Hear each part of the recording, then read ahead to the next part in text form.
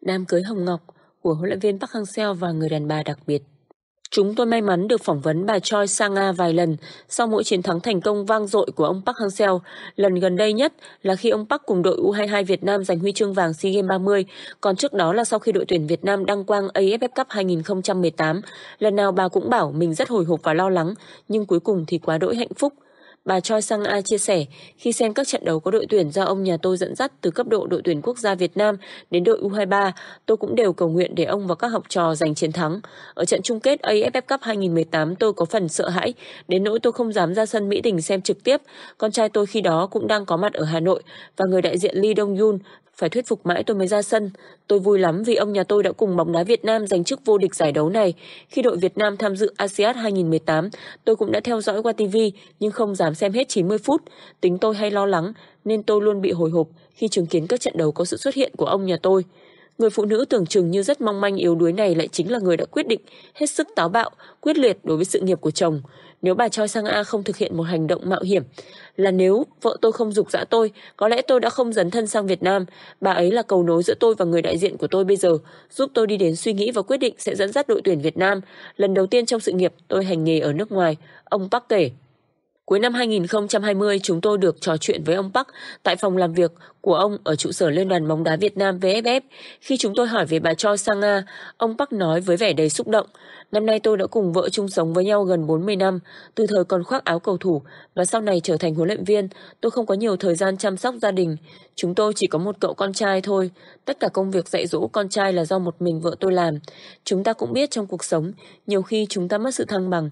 Những lúc tôi phải đối mặt với khó khăn, Tôi và khó khăn là hai chủ thể, vợ tôi là chủ thể thứ ba, luôn đưa ra cho tôi những lời khuyên để tìm lại sự cân bằng. Tôi luôn cảm ơn vợ tôi vì mọi điều mà bà ấy làm cho chồng của mình. Ngày xưa bà ấy không hiểu nhiều về bóng đá, nhưng không biết có phải đã đi theo tôi gần 40 năm rồi, nên gần đây khi tôi về nhà, bà ấy thỉnh thoảng cũng cho tôi lời khuyên. Này, làm như thế có sai không đấy? Ông làm như thế là có lỗi không đấy? Thỉnh thoảng bà ấy có nhắc như thế. Tất nhiên nội dung như thế nào tôi không thể tiết lộ ở đây được. Tất nhiên là không thường xuyên lắm, thỉnh thoảng thôi. Nhưng nhiều lúc tôi thấy lời nhắc nhở hay khuyên nhủ của bà ấy không sai đâu, cũng có lý đấy. Bây giờ tôi nghĩ lại bà Choi sống với tôi gần 40 năm nên cũng hiểu bóng đá rồi. Cũng vì hiểu bóng đá rồi mà bà Bắc đã có lời khuyên trí tình cho chồng mình. Năm 2016, khi tôi đang tìm hiểu các câu lạc bộ tại Trung Quốc thì vợ tôi hỏi tại sao ông không nghĩ đến các nước Đông Nam Á, cứ thử xem sao. Vợ tôi bảo là có một anh tên là Lee Dong Jun rất dành về khu vực Đông Nam Á, anh hãy thử gọi xem. Vợ tôi đưa điện thoại cho tôi nên chẳng có cách nào khác là tôi phải gọi. Đúng một năm sau đó anh Lee gọi lại cho tôi, bảo bây giờ có lời mời từ Đông Nam Á, ông có đi không? Tôi hỏi Đông Nam Á là đội nào? Anh Ly bảo bây giờ tôi chưa cho ông biết được. Bốn ngày sau đó anh ấy gọi lại cho tôi nói, ông viết cho tôi một giấy ủy quyền.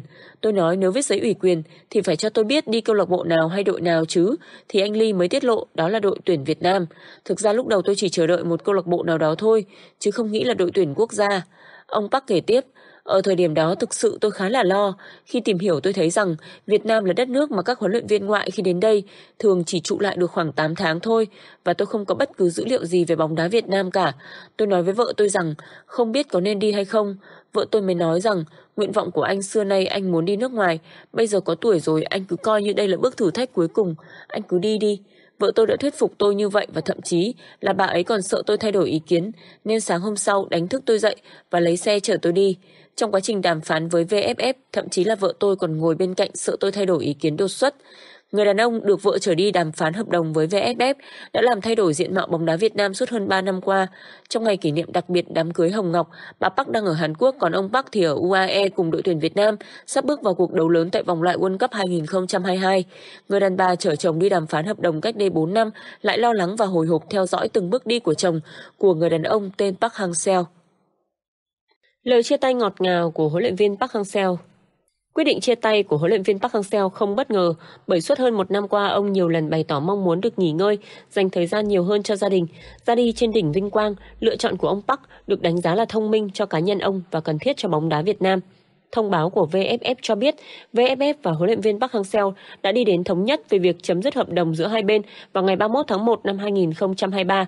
Quyết định này đồng nghĩa với việc giải đấu cuối cùng của huấn luyện viên Park Hang-seo trên cương vị huấn luyện viên trưởng đội tuyển Việt Nam sẽ là AFF Cup 2022 vào tháng 12 tới. Một thành viên thường trực VFF nói, hơn một năm trước, trong các cuộc làm việc với chúng tôi, ông Park đã nói tới mong muốn được nghỉ ngơi, dành thời gian nhiều hơn bên gia đình. Ở tuổi 63, áp lực công việc và di chuyển khắp nơi khiến ông khá mệt mỏi. Lúc đó ông Park đồng ý gia hạn hợp đồng thêm một năm với VFF đến 31 tháng 1 năm 2023. Tuy nhiên, ông ấy chỉ dẫn dắt đội tuyển U23 Việt Nam đến hết SEA Games 31 vào tháng 5 vừa qua. Sau đó, ông Park chỉ tập trung vào công việc duy nhất ở đội tuyển quốc gia. VFF đã chấp thuận phương án này và sau đó ký hợp đồng mời huấn luyện viên Gong Kyun Hàn Quốc về dẫn dắt đội U23 Việt Nam.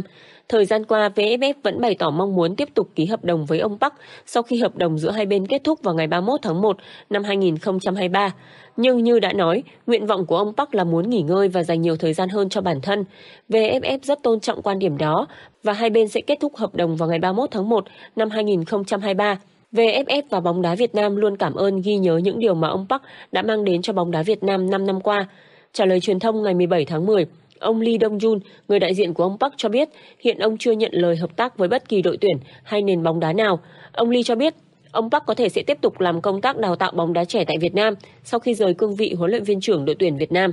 Phát biểu sau khi tuyên bố chia tay bóng đá Việt Nam, ông Park nói, tôi luôn ghi nhớ những kỷ niệm trong hành trình 5 năm cùng bóng đá Việt Nam. Với vai trò huấn luyện viên của đội tuyển quốc gia và U23 Việt Nam, tôi luôn tập trung vào từng giải đấu. Dù kết quả có ra sao, tôi vẫn có thể hoàn thành tốt nhiệm vụ và trách nhiệm của mình nhờ vào sự hỗ trợ, ủng hộ liên tục từ các cầu thủ, lãnh đạo và cán bộ nhân viên VFF cũng như người dân Việt Nam. Đây là một hành trình đáng nhớ và cũng rất thú vị. Một lần nữa tôi xin cảm ơn tới tất cả những tình cảm mà Việt Nam đã dành cho tôi. Tại SEA Games 29 năm 2017, đội tuyển U22 Việt Nam do huấn luyện viên Nguyễn Hữu Thắng dẫn dắt đã bị loại từ vòng bảng, tạo nên cú sốc lớn với bóng đá Việt Nam. Trước đó, VFF từng thuê nhiều huấn luyện viên nội dẫn dắt đội tuyển như Hoàng Văn Phúc, Phan Thanh Hùng và thời điểm đó là Nguyễn Hữu Thắng, nhưng chưa ai mang lại thành công cho bóng đá Việt Nam. Quan điểm của VFF là phải tìm một huấn luyện viên ngoại chất lượng. Qua các kênh môi giới, VFF đã có trong tay hồ sơ của nhiều ứng viên, trong đó có ông Park Hang-seo. Cố Chủ tịch VFF ông Lê Hùng Dũng đã chỉ đạo ông Đoàn Nguyên Đức, Phó Chủ tịch Tài chính VFF, Chủ tịch Tập đoàn Hoàng Anh Gia Lai, ông Trần Quốc Tuấn, Phó Chủ tịch chuyên môn VFF, ông Lê Hoài Anh, Tổng thư ký VFF sang Hàn Quốc đàm phán hợp đồng với huấn luyện viên Park Hang-seo. Cuộc đàm phán căng thẳng trong 6 tiếng liên tục, cuối cùng bóng đá Việt Nam chính thức có huấn luyện viên trưởng mới, ông Park Hang-seo. Ngày 11 tháng 10 năm 2017, VFF đã ký hợp đồng với huấn luyện viên Park Hang-seo tại Hà Nội. Hợp đồng có thời hạn 2 năm. Ông Park đảm đương công việc ở cả đội tuyển quốc gia, U23 và Olympic quốc gia. Gần như toàn bộ tiền lương của ông Park trong 2 năm đầu được ông Đoàn Nguyên Đức tài trợ cho VFF chi trả. Mỗi tháng khoảng 7 đến 800 triệu. Sau khi hợp đồng hết thời hạn, VFF và ông Park tiếp tục ký hợp đồng 3 năm, thời hạn đến ngày 31 tháng 1 năm 2023. Sau những kỳ tích mang đến cho bóng đá Việt Nam, nhiều doanh nghiệp sẵn sàng tài trợ tiền tỷ cho VFF để trả lương giữ chân ông Park. Đã có hai tập đoàn lớn cùng bắt tay tài trợ khoản lương khoảng 50.000 đô một tháng sau thuế cho VFF để trả cho ông Park. Ngoài khoản lương cứng, huấn luyện viên Park Hang-seo còn được VFF cấp nhà riêng, lái xe riêng, vé máy bay về Hàn Quốc hàng năm. Những đóng góp thành tích liên tiếp mang đến cho bóng đá Việt Nam còn giúp ông Park nhận được nhiều tài trợ, món quà giá trị của các doanh nghiệp Việt Nam như căn hộ chung cư, xe hơi. Hơn hết, lãnh đạo chính phủ, nhà nước và đặc biệt là người hâm mộ luôn dành sự quan tâm, tình cảm rất lớn đối với ông Park Hang-seo, điều mà chưa từng có huấn luyện viên nào trong lịch sử có được.